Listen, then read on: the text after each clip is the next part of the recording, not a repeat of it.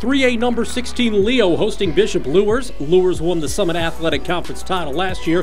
First quarter, it's Luers on the run. This is senior Nayland Thompson to the rim, and the Knights up by one. Leo responding. Blake Davison with two of his team high 15.